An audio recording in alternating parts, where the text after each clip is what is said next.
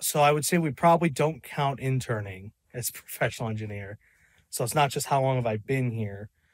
I've been taking sessions since far back as I want to say I did a few for a couple clients in 2019.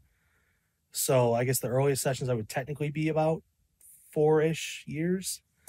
Um, and obviously I take more sessions now than I did then, but still building up and doing different stuff. Uh, so I guess four ish years.